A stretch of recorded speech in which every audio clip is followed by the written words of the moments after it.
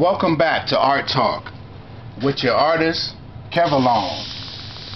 Today's discussion is going to involve Mac Miller. Rest in peace, Mac Miller. Mac Miller was born in 1992 as Malcolm James McCormick. Malcolm James McCormick was a Jewish kid born in Pittsburgh, Pittsburgh, PA. And he went to the same high school as Wiz Khalifa.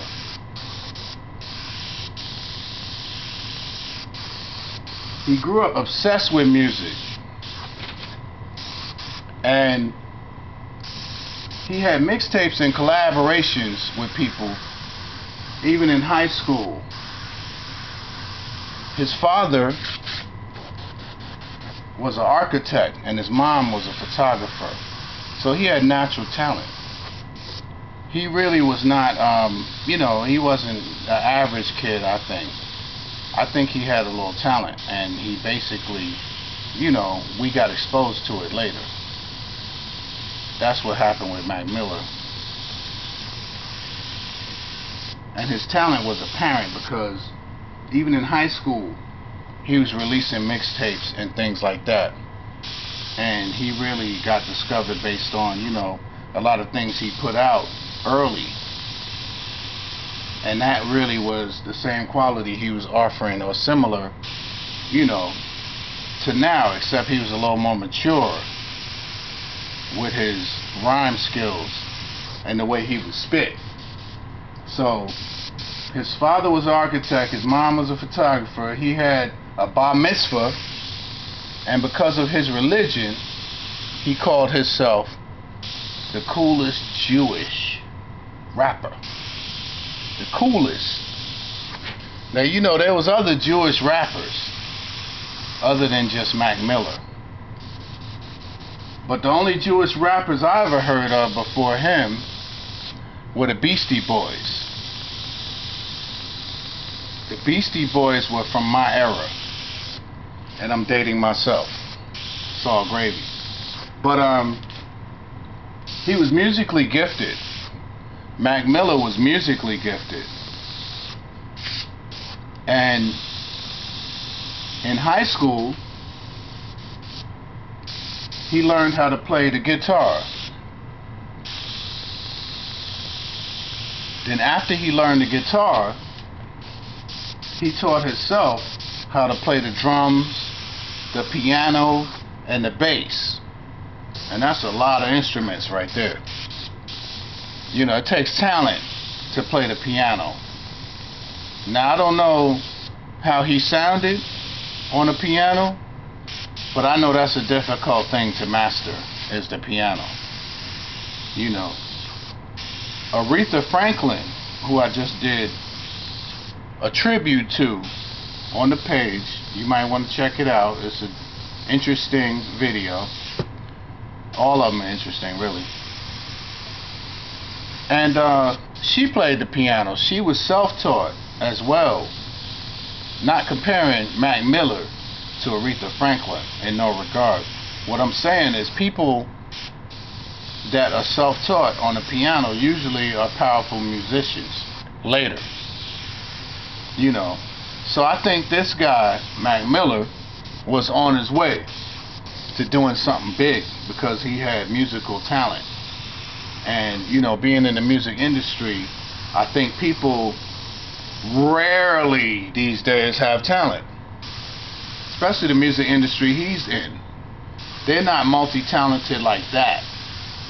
Usually, they can spit, they write, and people, you know, they might produce, they might make their own beats and certain things like that. They might have a sense of style. But other than that, a lot of people don't have a lot to contribute in terms of talent in hip hop. You know, so I think he had a lot to offer because once you do things like play piano and all that stuff, he, you know, it's a lot to contribute So you're gonna have another opinion about your music. You're gonna have a lot of creative ability in your music. And that's what I think he had, you know, what we lost. I think that's what we lost was that creative power that he had and how he was getting ready to blow up. He had blown up, but I'm just saying, like, you know, that was in a short time. Imagine what he would have accomplished over a period of time, which is what makes me wonder what really happened in the situation. So getting back to his upbringing, Mac Miller being musically gifted and having all those abilities to play those instruments, he was obsessed with music. Now, he released these mixtapes in high school. And he would go to high school, but he wouldn't really be in class from what I understand. He would go to school, and when he showed up to school, he would basically, because, you know, he didn't come a lot, so I say when he showed up, he would basically give out CDs, they say, allegedly, and he would freestyle with all his friends, all his homies.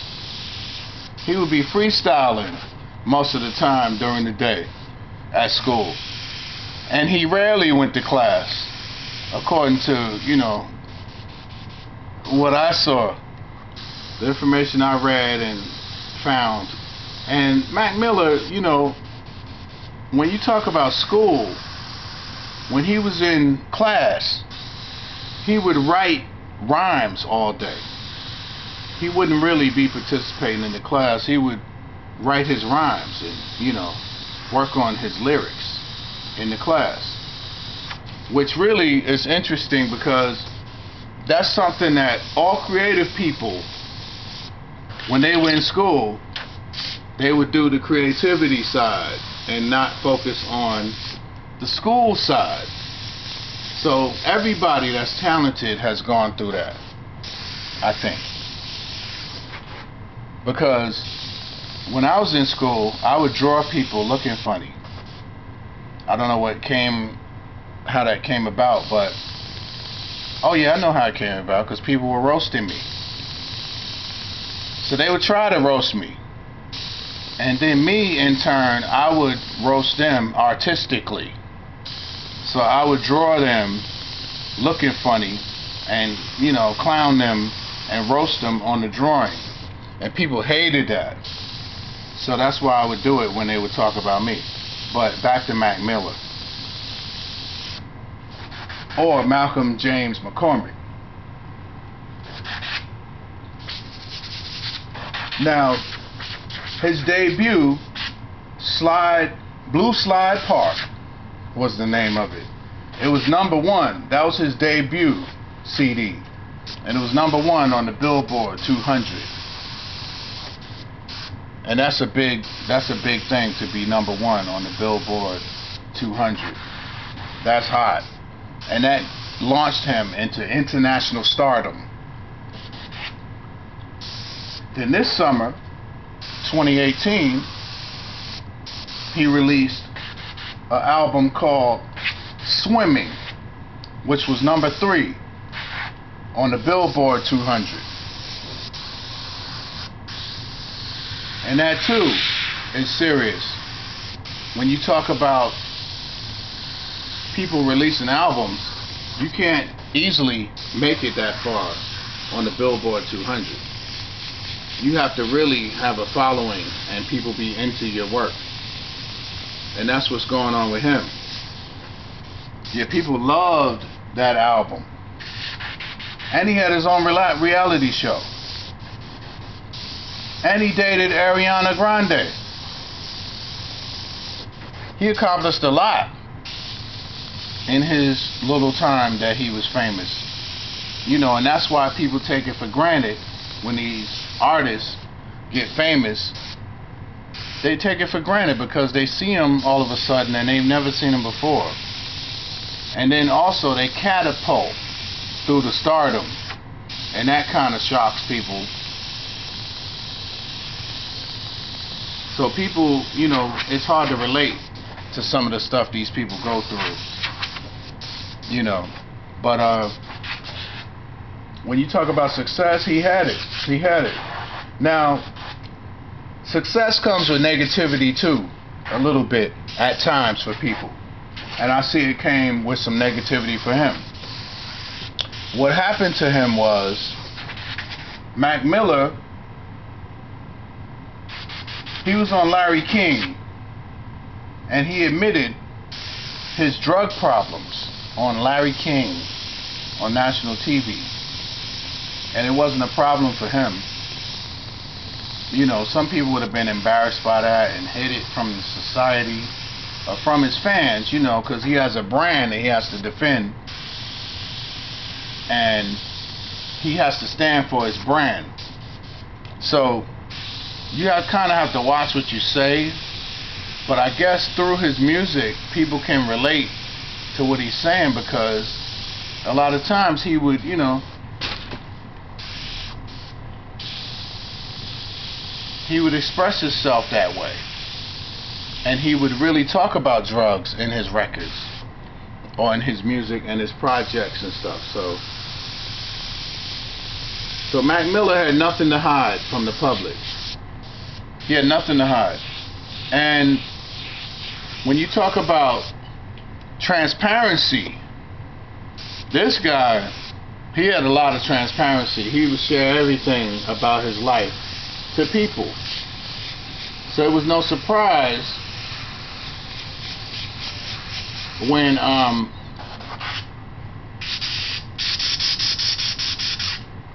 when he was telling people about his breakup with Ariana Grande. But when you talk about their relationship, you have to talk about a lot of things that went on behind the scenes you know, and some of the success they had. So that's what we're going to talk about. You know. So, but Mac Miller, he said on Larry King that it was his state of mind that messed him up. And he was depressed. And that's why he did so many drugs. Because Mac Miller got high. He did a lot of drugs from what I understand. And lean, he definitely, um, he definitely was hitting the lean. And the lean is, you know, that's some serious, that's a serious thing, man. If promethazine is a powerful thing in the rap industry, and it's being promoted by a lot of rappers. And that's the stuff that gave Lil Wayne seizures and a couple of people seizures. Lean killed DJ Screw. Or DJ Screw killed himself drinking lean, sipping lean. And that lean is being promoted by people like Future, Weezy, a lot of people, just to name a couple. Because I ain't trying to, you know, go all day talking about people that use lean, but yeah, they use lean, and that's you know part of his demise, I believe. I believe that was part of his demise, is the lean and the drugs and everything. But uh, I had to jump right into that. I don't know why I jumped right into that, but the lean was, you know, that was messed up. That was part of what messed him up, as far as I'm concerned. So anyway,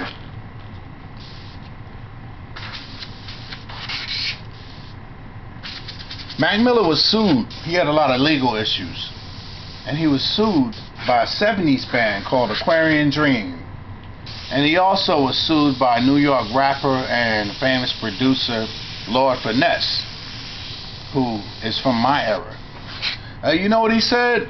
He said, man, Lord Finesse is one of my idols. Yo, that's that's funny. The dude is one of his idols, and he had to sue him. So that's why he used his some of his stuff because he's one of his idols. You know, but keep that in mind. You have to go to people and pay them. Okay? So all you guys sampling stuff, James Brown and all this, you know, these rock bands, are you sampling other rap songs and all stuff on your records and on your projects. You have to consider that you have to pay these people. So that's just, you know, common sense. And decency.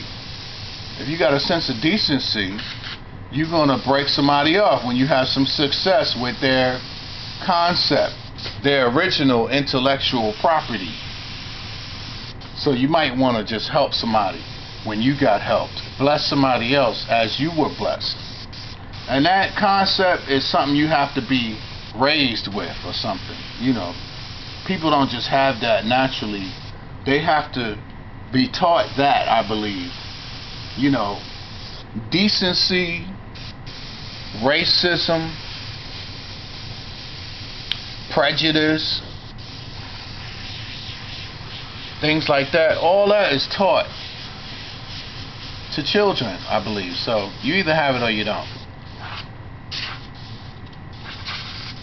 Now,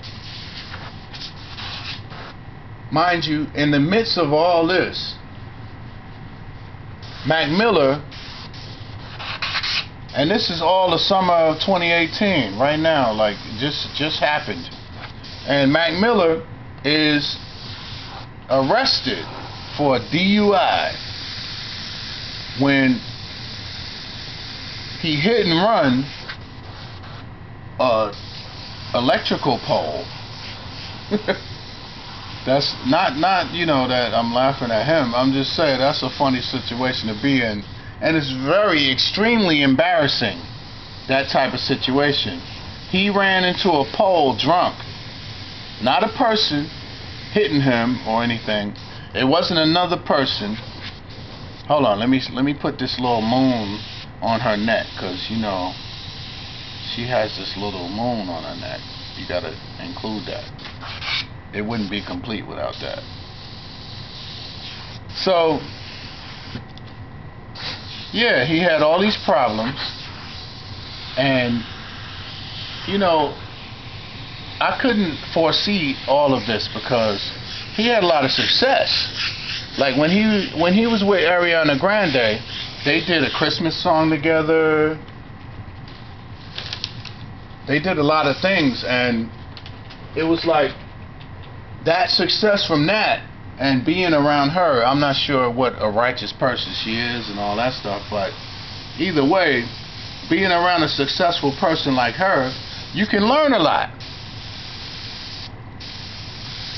So I would think that he would have picked up on a lot of things from her.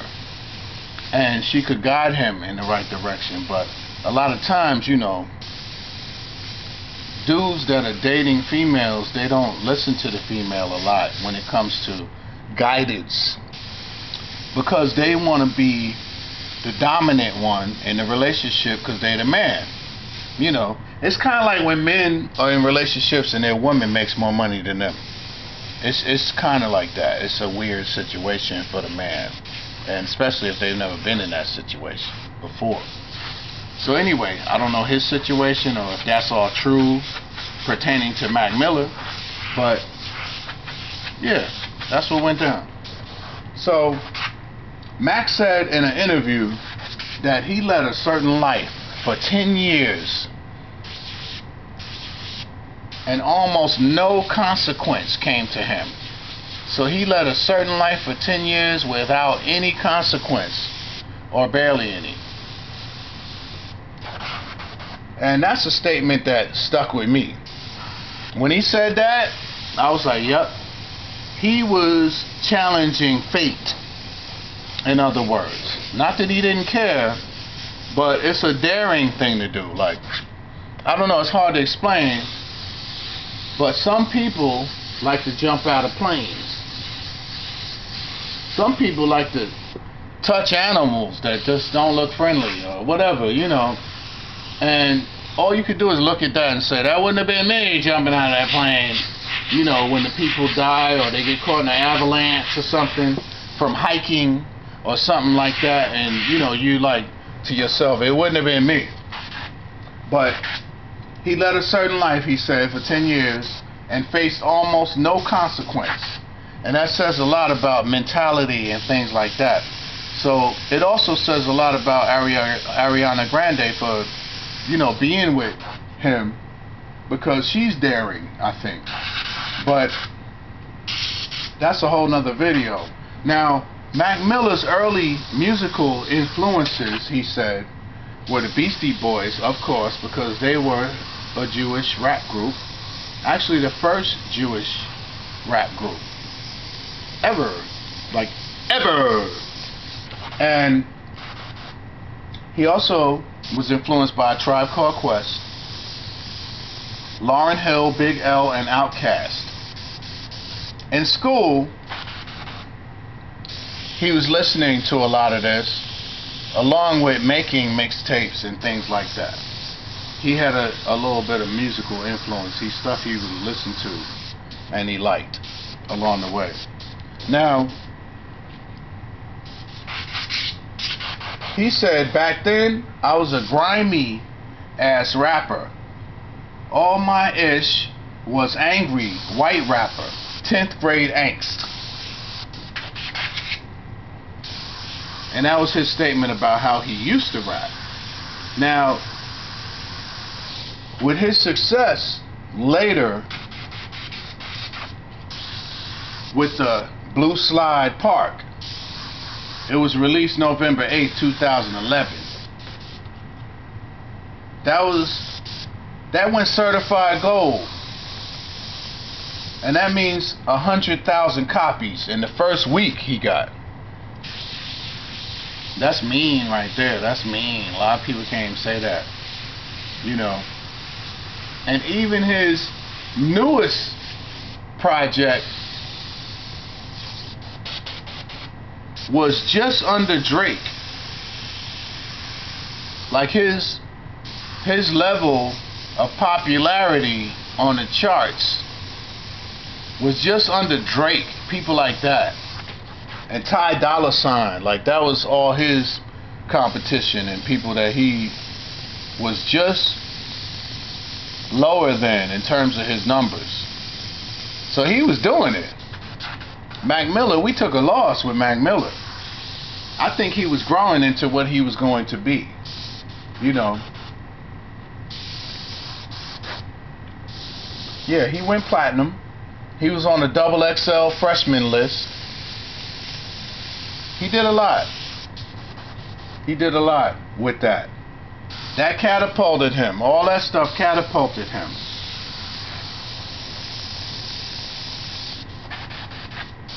But when he was with Ariana Grande, I thought that he was doing the best. They wrote a Christmas song together.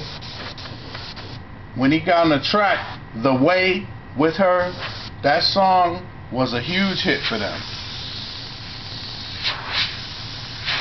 That song was a huge hit for them, The Way. That changed his whole, well, it added a lot of fans for him, I'm sure, from her crowd.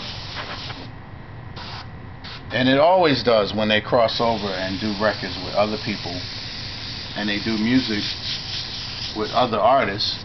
That always helps their popularity. So,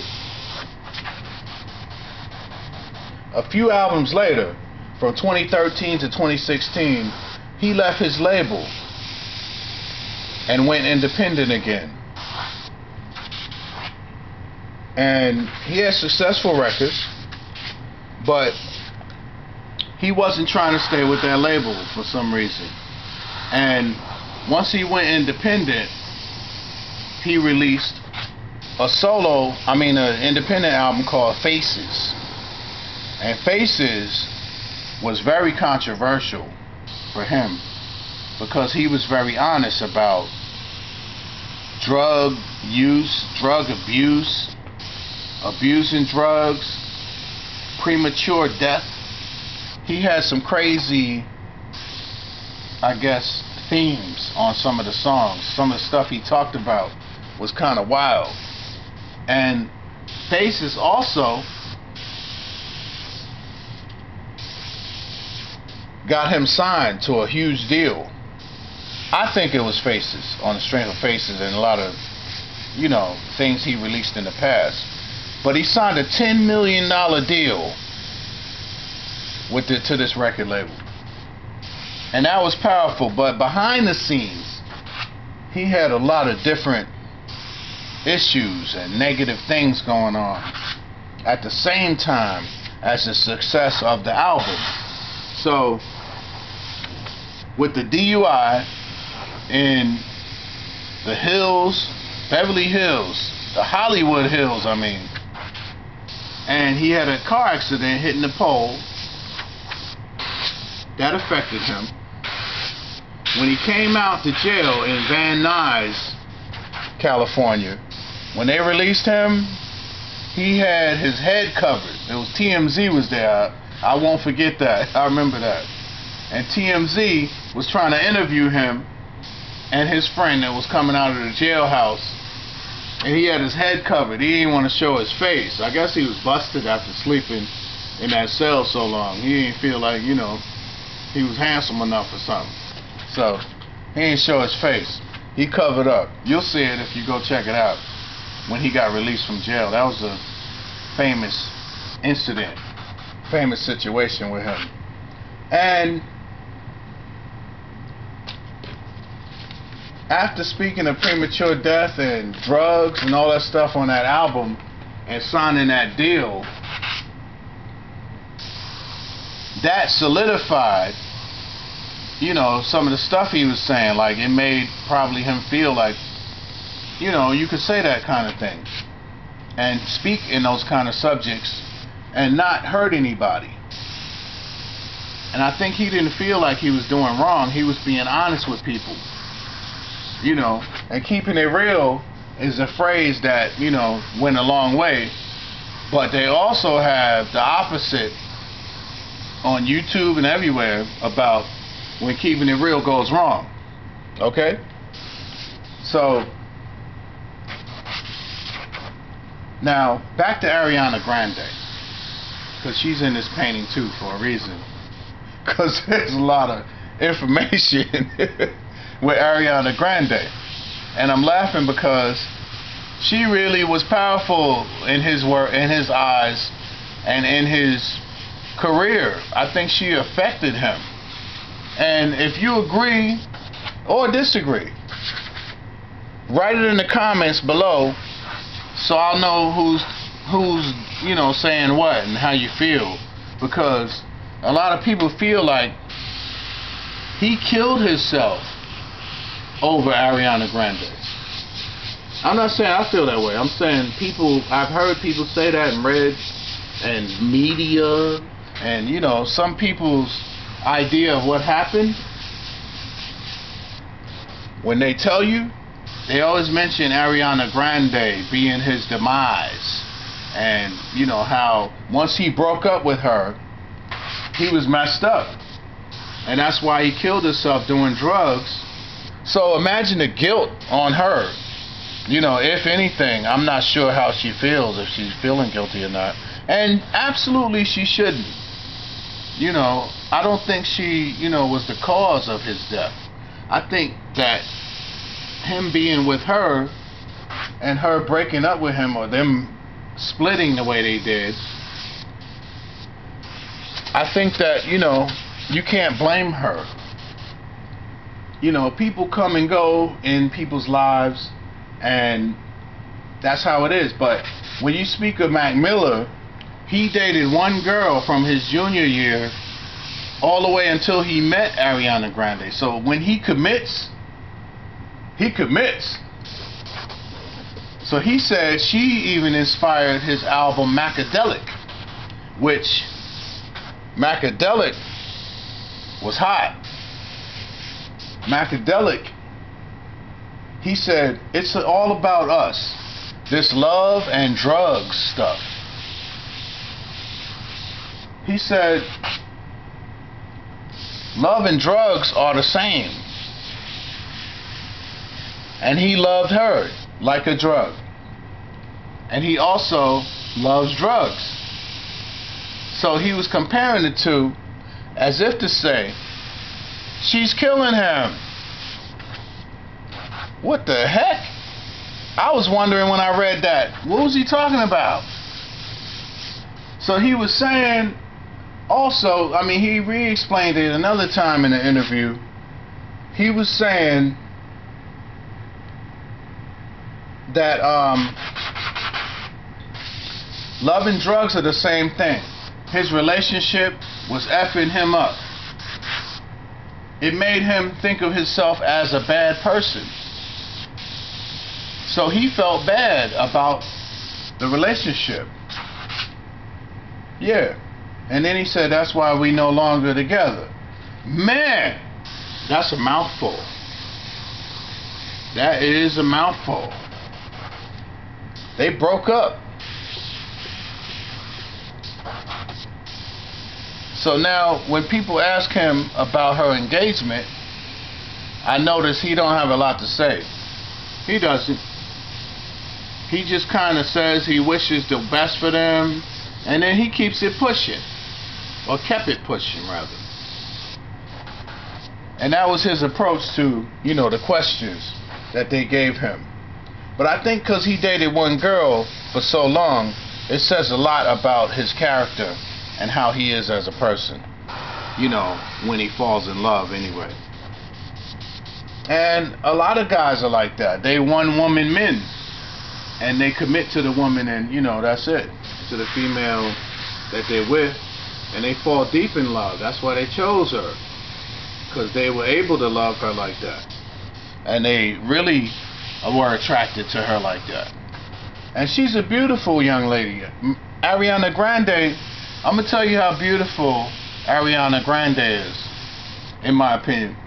She was at Aretha Franklin's funeral, and the preacher, they created a scandal around the preacher hugging her because he hugged her so tight. And I think he touched her breasts or something like that in the hug. And, you know, she said in the press that he did nothing wrong. But the press blew the old head preacher up because he was touching on her like that. He hugged her and brought her to the podium during the performance, during the, the ceremony. You have to go and see Aretha's homegoing ceremony, Aretha Franklin, Queen of Soul. And I did a tribute to her also on here. And it's called Aretha Franklin, the Queen of Soul. Being Art Talk by Kevalone. Yeah, check that out. But anyway, when Ariana had her Manchester bombing incident, he was there for her at the hospital. I mean, at the uh, airport to support her, and also kiss on her. You know, he had to kiss her and all that. You know, so uh, yeah, but there were a lot of things he was dealing with, issues and problems behind the scenes. So he crashed his G-Class Benz, Mercedes Benz, into a pole in the Hollywood Hills, and then and then ran. You know, the thing about it is he ran, but nobody got hurt. That's the blessing of it all. He nobody got hurt.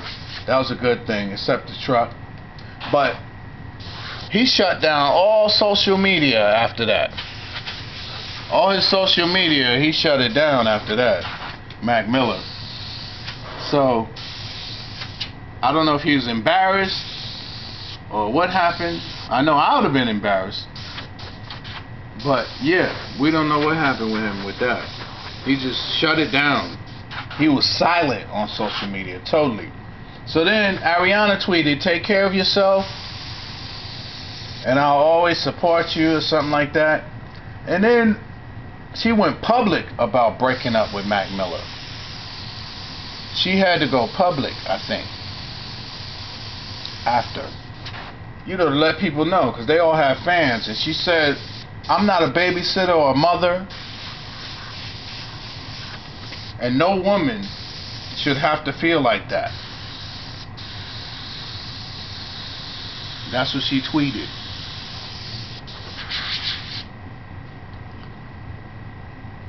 She said he has major problems.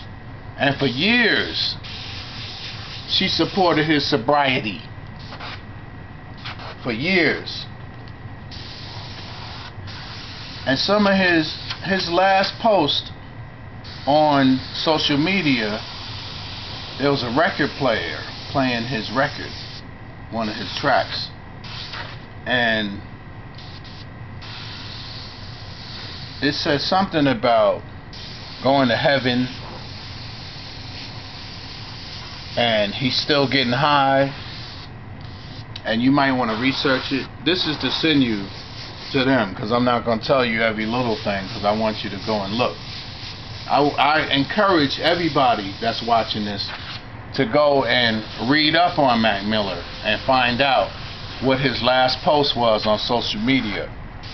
And then get in the comment section and tell me what it was, what he said, what was the lyrics in that song that was so crazy about heaven. And I would appreciate that. And he said, I'm going to heaven, or something about heaven, and how he's still getting high. That's the lyric that I'm talking about. So, you'll check it out. And one one comment that Mac Miller made that stuck with me was when he said, if you overdose, you don't go down in history, you just die.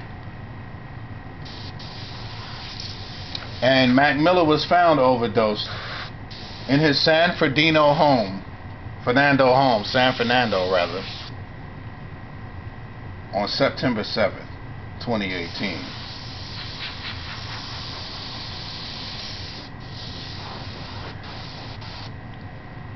So if you want to leave your condolences, comments, your favorite moments, Mac Miller moments, down below, feel free. Your favorite Mac Miller memories, feel free. This is a tribute to Mac Miller. And thank you for viewing this. And please like, subscribe, and share this video.